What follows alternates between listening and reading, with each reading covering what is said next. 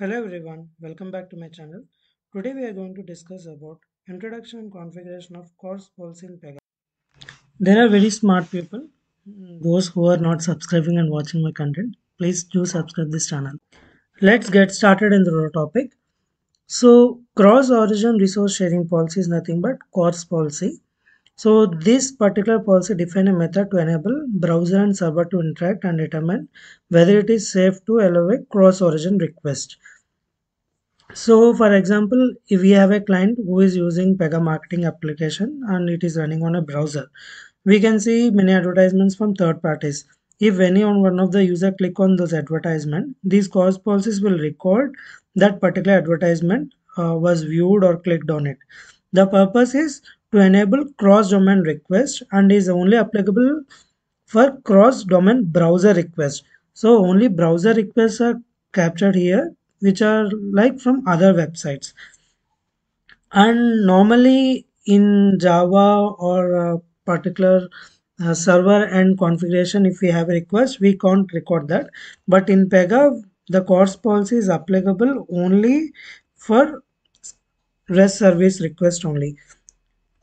So if we have a cross uh, domain request from other source like uh, server side or some javascript like that then we can't record that uh, request. Only rest service integration that is available in pega with help of that only we can record the respective request.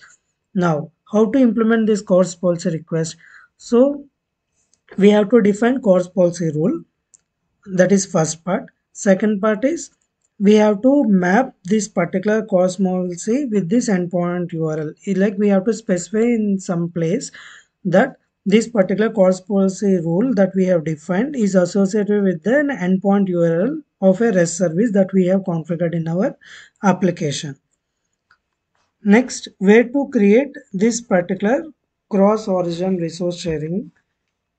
Okay, suppose we have a Pega environment in records explorer if you go to security you have this CORS origin resource sharing. This is nothing but CORS policy that we are talking about. These are OOTB instances that are given by Pega product. So for our understanding I have created a particular uh, rule. You can see policy definition history only two tabs over here and I will be explaining what are the different combinations we can give in this particular CORS policy. First of all, to do these changes, you should have a privilege called as PZ can manage security policies. If you don't have the security privilege under Pega system administrator access group, then uh, in that security administrator access group if you don't have this privilege you can't do any changes for this particular privilege. Let's go and see one by one. This allow credentials. Allow credentials is a checkbox. So if you check this checkbox then we are telling that the endpoint can have credentials to pass in the request. Next is allowed origins. So suppose you want to limit uh, to some website like only from this website we have to allow a request. Then you can specify that uh, request like this.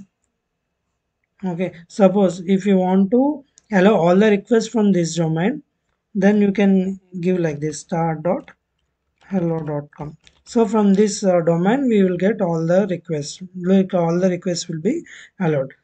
So you don't want to differentiate with a domain or you don't want to differentiate with a website then you can give star. Suppose you want do you don't want to allow any cross origin request just you can give a blank. Like uh, this all this you can delete.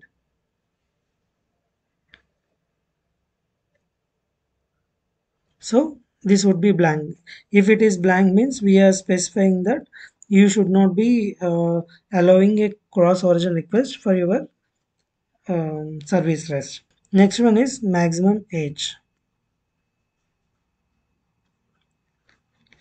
So in this maximum age uh, so it indicates like how long the pre-flight request can be cached so you got a request uh, for some case information or something uh, for 600 seconds you have hold that particular request in the cache so in this between 600 uh, seconds if another request has come so it won't be cached. For that purpose we would be defining this maximum age. And what are the allowed methods? You know that our rest uh, service or connectors we have different methods like get post put patch delete. So what are the methods you are allowing as per this CORS policy? Those only you can do check of this and you can save your rule allowed headers. Allowed headers is like a comma separator list of request headers that uh, can be sent to this api means our uh, service rest. Uh, default then we have like authorization content type. These are the default allowed headers. And exposed headers. Exposed headers is uh, again comma separated list of response headers from of this API can access. So this also we can specify with a comma separated uh, list of response headers. Next, we have defined CORS policy as per our first step. Now, how to link that this particular service rest is associated with a CORS policy. For that purpose, we need to go to Pega, configure, integration, services, endpoint CORS policy mapping rule. Okay, now you click on this. You can see list of already existing uh, endpoint APIs we have. Here if you see endpoint is star allow all origins. So it was defined by Pega itself. Now if you want to add click add endpoint. You can specify the endpoint that you want to track this CORS policy or restrict uh, this mapping rule you would be giving a valid url over here. Then you click add policy. You can see that our policy that we have defined is over here. For example now i'm giving star submit. So you can't uh, define same policy uh, like you can't add another instance for a same URL. Suppose if you want to add here, if you go to settings, you can give add policy and here you can give that particular restriction over here. See, you can see what are the CORS policies defined for this star. Okay, if you want to remove this uh, respective CORS policy from this endpoint URL, you can do this change and click submit.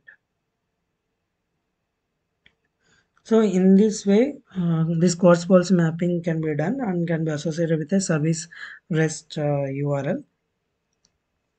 In next video, we can see live implementation of this. Hope you have learned a new concept and I would be providing two more links where you can go through those uh, links and you can understand in more precise way about this CORS policy mapping.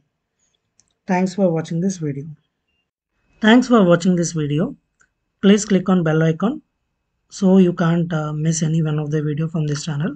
Please share comment and like and give your suggestions in the comments of the video